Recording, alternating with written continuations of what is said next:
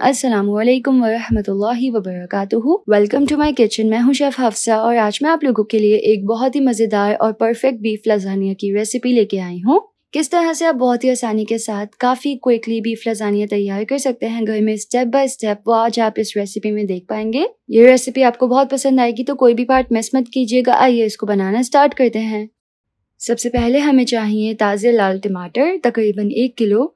टमाटर के ना आप छिलके उतार लीजिएगा सिंपल ब्लांच करके या फिर नॉर्मल नाइफ से डायरेक्टली इस तरह से अच्छे से छिलके उतार लेंगे टमाटर के। और फिर हम टमाटरों को थोड़े से पानी के साथ अच्छे से ग्राइंड कर लेंगे।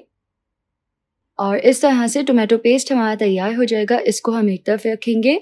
अब बीफ लजानिया बनाने के लिए हमें कीमा चाहिए। यहाँ पे तकरीबन 600 ग्राम्स मेरे पास बीफ का कीमा है। आप चाहें तो आप यहाँ पे चिकन मिन्स का भी इस्तेमाल कर सकते हैं। अब लजानिया बनाने के लिए हमें दो सॉस बनाने हैं। पहले बनाएँगे हम मीट सॉस तो उसके लिए हम एक बर्तन में ऐड कर लेंगे four tablespoon oil oil में हम एक मीडियम साइज़ की प्याज को चॉप करके ऐड कर लेंगे और प्याज को हम ऑयल में हल्का सा सौते कर लेंगे। जब प्याज हल्की सौते हो जाएगी तो फिर हम इसमें ऐड कर लेंगे ginger garlic paste one tablespoon अच्छे से मिक्स करते हुए कुछ सेकंड के लिए पका लेंगे। अब हम इसमें ऐड कर लेंगे बीफ का कीमा तकरीबन 600 ग्राम्स कीमे को ना हमें यहाँ पे अच्छे से पाँच से दस मिनट के लिए भून लेना है। अच्छे से इसको पका लेना है। तो जी, यहाँ पे मैंने कीमे को भूनते हुए दस मिनट के लिए अच्छे से पका लिया है। अब हम इसमें ऐड कर लेंगे टोमेटो पेस्ट जो कि हमने बना के तैयार किया था।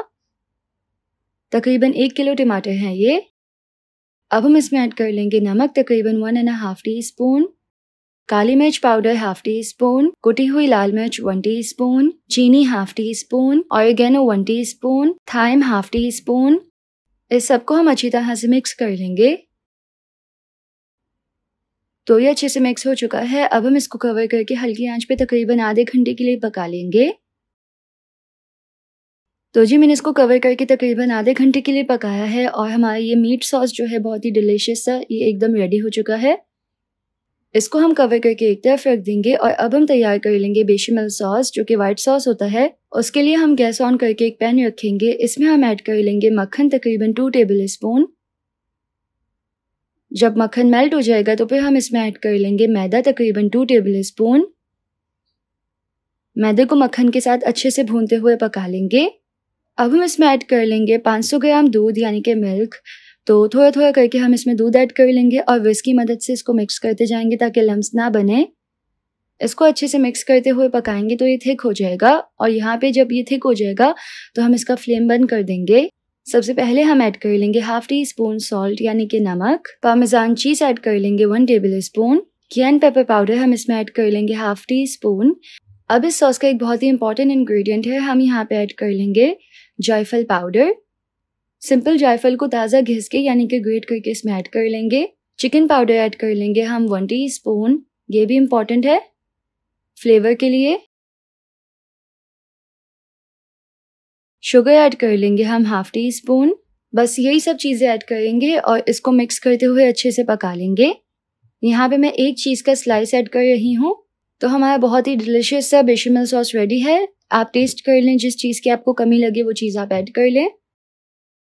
अब हमें चाहिए इस तरह से एक अवन प्रूफ डिश इसमें हम लजानिया बेक करेंगे। अगर आपके पास ये ना हो तो कोई प्रॉब्लम नहीं है। आप बहुत ही आसानी के साथ डिस्पोजेबल पेन यूज़ कर सकते हैं। आप सबसे पहली लेयर जो है, वो हम मीट सॉस की रखेंगे इस तरह से।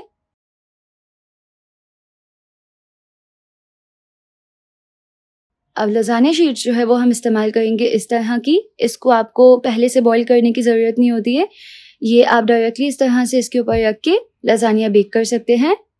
उसकी रेसिपी मैं पहले अपलोड कर चुकी हूँ तो मैं आई बटन में उसका लिंक डाल दूँगी, आप वहाँ से चेक कर लीजिएगा।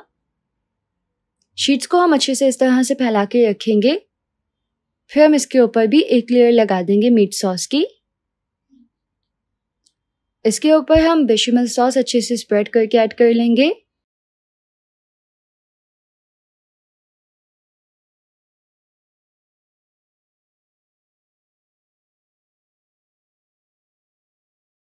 और फिर हम इसके ऊपर मोजरेला चीज़ अच्छे से स्प्रिंकल कर लेंगे। फिर हम इसके ऊपर लजानिया शीट्स की दूसरी लेयर रखेंगे।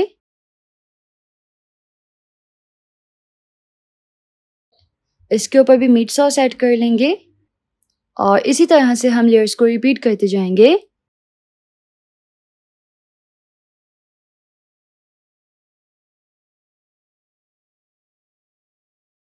इसके ऊपर भी मीट सॉस ऐड कर लेंगे।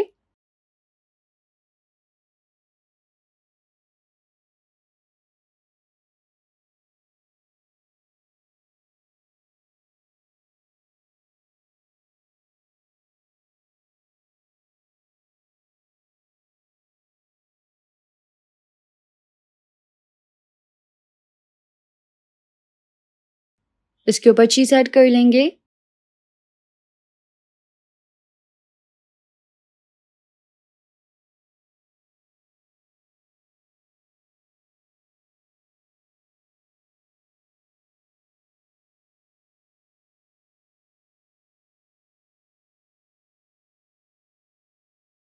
इसको हम 200 पे बेक कर लेंगे। 45 टू 50 मिनट्स के लिए इंशाल्लाह ये अच्छी तरह से बेक हो जाएगा।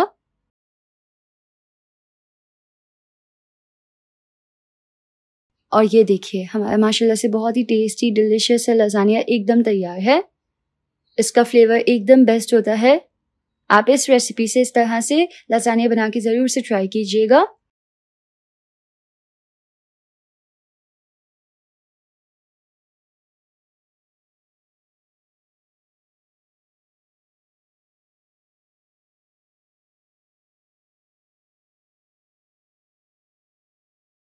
तो जी लसानिया एकदम परफेक्ट बना है। इसका टेस्ट बहुत अच्छा है। सॉसेस एकदम परफेक्ट हैं और माशाल्लाह से एकदम परफेक्ट बना है। अगर आपको इस मज़ेदार से लसानिया की रेसिपी पसंद आई तो आप इस वीडियो को लाइक कीजिएगा। यूट्यूब चैनल को ज़रूर से सब्सक्राइब कर लीजिएगा। मिलते हैं नेक्स्ट रेसिपी में इनशाला हाफिज़।